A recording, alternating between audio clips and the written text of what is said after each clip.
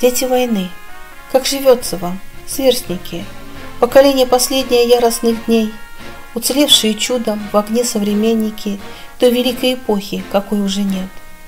Мы не строились в роты, не бросались под танки И не гнали врага из родной страны.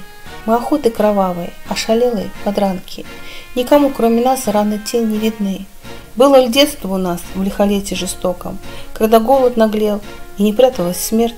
Если рядом война, сокращаются сроки. Мы спешили взрослеть, чтобы выжить суметь. Тяжкий воздух тех дней был наполнен тревогой. Мы глотали его, жгли нутро в попыхах. Бабе плач над селом, пыль над долгой дорогой, где отцов своих ждали, аж до боли в глазах.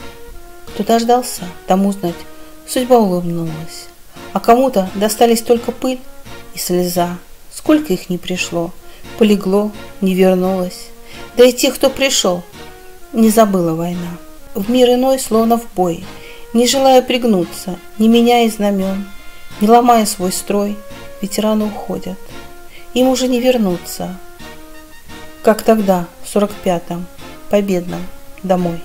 Наших мам помянуть не забудем сегодня. Их мозоли и боли не прохладнее огня.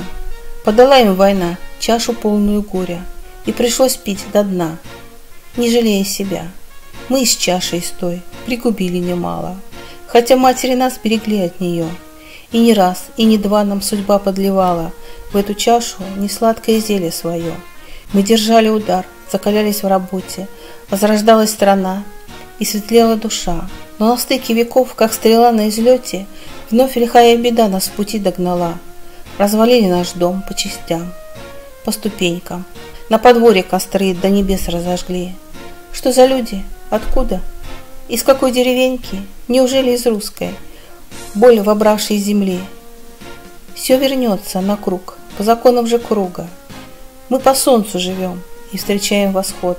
Быть державе в веках, как бы не было трудно, нашим детям и внукам вам да поможет Господь. Пенсионная рать, вот и мы ветераны.